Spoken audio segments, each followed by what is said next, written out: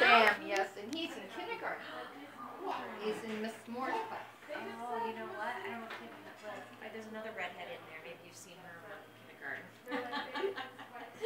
My daughter. Who's your daughter?